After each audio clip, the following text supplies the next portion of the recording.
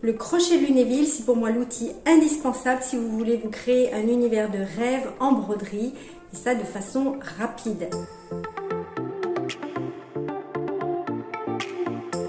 Bonjour à toutes et à tous, je suis Marie-Laine Héral, artiste brodeuse, créatrice de la marque Studio Héral et de son école de broderie d'art du même nom. Alors qui suis-je pour vous dire que cet outil c'est vraiment pour moi un indispensable? Ça fait des années que je brode, je brode depuis que je suis toute petite, je brodais beaucoup à l'aiguille. Et depuis maintenant un peu plus de 10 ans, euh, je, brode également au crochet de Lunéville. J'ai formé euh, un tas d'élèves à broder également au crochet de Lunéville. Et je peux vous dire que quand on brode au crochet de Lunéville, d'abord ça va vite, mais surtout on atteint une régularité qu'on ne pourra jamais obtenir à l'aiguille quand on pose des perles, des paillettes ou même quand on fait comme ça un point de chaînette. Vous allez me dire, mais qu'est-ce qu'on peut faire avec ce crochet de Lunéville? Alors avec ce crochet, on fait effectivement une chaînette, une chaînette avec un fil, euh, d'abord un fil à gants, après la, semaine dernière je vous ai présenté des fils métallisés, euh, on peut également utiliser des fils de soie, des fils de rayon, des fils un peu plus épais avec un crochet qui a une pointe un petit peu plus grosse. Par exemple, là je vous avais dit que la taille standard c'était du 80. Si vous prenez du 90, du 100 ou même jusqu'à 140, vous pouvez euh, broder des fils très épais et obtenir un résultat euh, qui est très différent en, en fait d'un fil très fin. Qu'on peut faire également Alors si on ne fait que du fil, vous connaissez peut-être, vous savez que je vis à l'île de la Réunion, vous savez peut-être qu'il existe euh, une broderie ici à Silaos, qui est euh, dans le cirque de à Il y a des brodeuses, donc les brodeuses de Silaos, qui brodent euh, une broderie de jour. Et cette broderie, on peut également la réaliser avec un crochet de lunéville. Ce sera un petit peu moins fin qu'à l'aiguille, mais ça a aussi un joli rendu. Vous pouvez faire des jours, des jours échelles, vous pouvez faire pas mal de choses comme ça avec le, avec le crochet. Après ce crochet, vous pouvez l'utiliser pour poser euh, des perles, des paillettes. Alors il y a tout un tas de techniques comme vous pouvez le voir là sur euh, ces images. Ce que vous voyez là, ce sont des remplissages essentiellement et puis euh, des choses un petit peu en relief. Tout ça c'est fait, toutes ces techniques c'est réalisé uniquement euh, au crochet de l'Univille. Vous pouvez également faire des créations 3D, alors euh, des fleurs ou toute autre chose, et vous pouvez faire des choses ultra modernes en recyclant comme ça euh, du plastique, par exemple les pailles à boire, vous pouvez recycler, faire de très jolies choses. Vous pouvez utiliser tout un tas de matières, je vais dire, qu'on brode comme ça à l'aiguille ou même qu'on brode pas forcément, mais qu'on va, va euh, transformer et, fixer comme ça au crochet de Lunéville. Ce que l'on peut faire également, c'est fixer comme ça des chaînes de strass, euh, toujours au crochet de Lunéville. Vous n'êtes pas obligé euh, d'utiliser l'aiguille. Vous me dites pourquoi Pourquoi utiliser le crochet de Lunéville?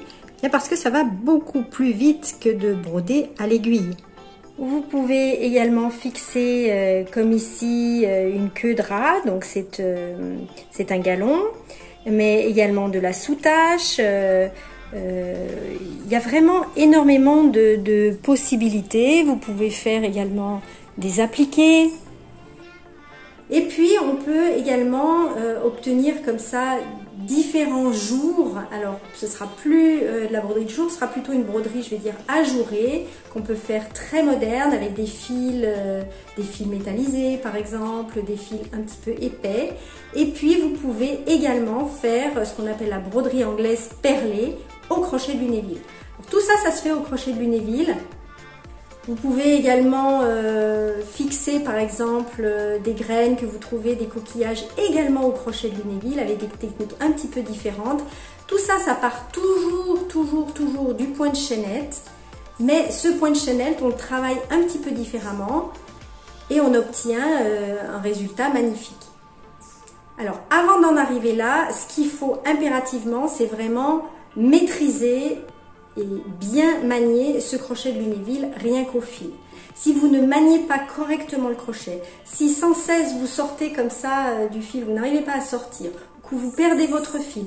Vous n'arrivez pas, vous n'allez pas arriver en fait à aller dans des techniques plus avancées. Donc d'abord, il faut vraiment impérativement maîtriser la base et ça, ça demande un petit peu d'entraînement. Il faut s'entraîner et puis il faut avoir les bons gestes. Il y a quatre erreurs en général que vous faites qui font que votre crochet ne sort pas euh, du tissu. Ça, je vous l'apprends dans mes formations. Si vous ne faites pas attention à ça, eh bien, vous ne sortez pas votre crochet et du coup, vous ne pouvez pas après arriver dans les remplissages ou tout, où là, vous ne serez plus du tout sur du tissu euh, transparent comme l'organza, vous serez sur du tissu, enfin, toujours peut-être sur de l'organza, mais il y aura tellement de fils qu'en fait, à la fin, vous serez quand même sur de l'opaque parce qu'il va falloir repiquer dans des fils.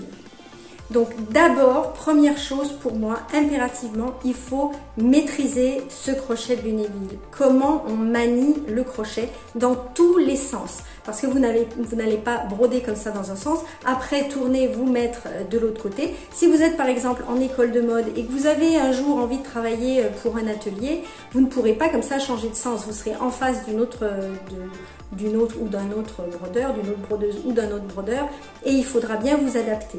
Donc il faut absolument maîtriser les quatre sens et puis les sens aussi intermédiaires. En fait, les possibilités sont infinies. On peut vraiment faire euh, beaucoup, beaucoup, beaucoup de choses. Alors, on connaît surtout la broderie perlée de Lunéville, mais on peut faire aussi rien qu'avec du fil.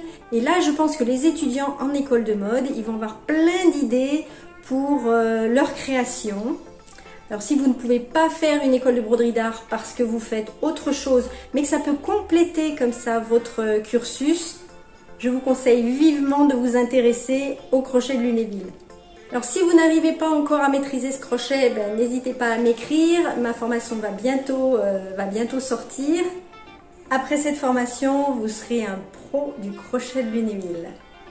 Si vous voulez en savoir davantage sur la broderie d'art, euh, mon e-book est à télécharger gratuitement juste en dessous dans la description. N'hésitez pas à mettre un petit pouce et abonnez-vous à ma chaîne si vous voulez recevoir les autres vidéos. La semaine prochaine, je vais vous parler de Juliette, une jeune élève que j'ai eue il y a quelques années et je vous expliquerai comment elle s'est créée son univers de rêve avec la broderie et qu'elle en a fait son métier. En attendant, portez-vous bien. Je vous souhaite une très belle journée. Au revoir.